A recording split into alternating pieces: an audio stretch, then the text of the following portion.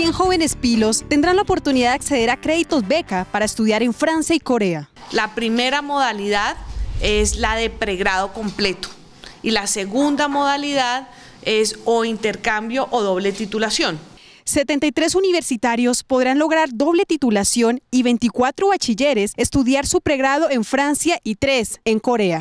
Uh, aprender un idioma, idioma, nuevo, que es muy importante en nuestro mundo, es conocer otra cultura y también encontrarse con estudiantes del mundo entero porque Francia acoge cada año 300.000 estudiantes extranjeros. Pero estoy seguro de que uh, la calidad educativa de Corea es muy alta y creo que uh, los estudiantes que van a estudiar en Corea van a tener, tener una satisfacción educativa en pronto.